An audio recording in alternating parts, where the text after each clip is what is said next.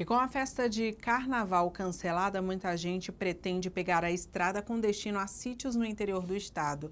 Para garantir a segurança dos condutores, a Polícia Rodoviária Federal continua com a Operação Rodovida, que encerra em 21 de fevereiro. Com o feriado e ponto facultativo do período de carnaval, as pessoas aproveitam para viajar e descansar da rotina de trabalho. Com isso, as rodovias ficam mais movimentadas. Mas a Polícia Rodoviária Federal alerta.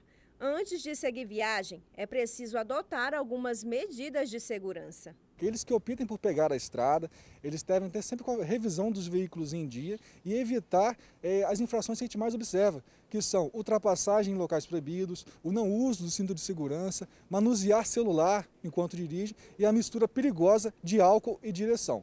Através dessa responsabilidade de cada um, nós temos certeza que vamos construir a cada dia um trânsito mais seguro.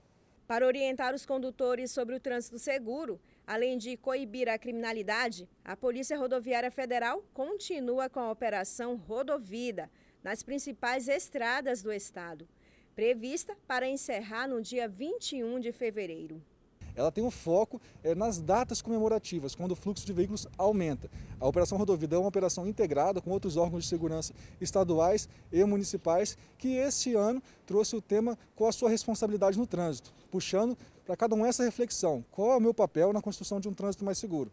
Para fazer uma viagem segura, além de seguir todas as medidas já citadas pelo agente da Polícia Rodoviária Federal, é preciso que o condutor verifique a situação do veículo, como por exemplo, a troca do óleo, limpador do para-brisas e verificar a situação dos pneus.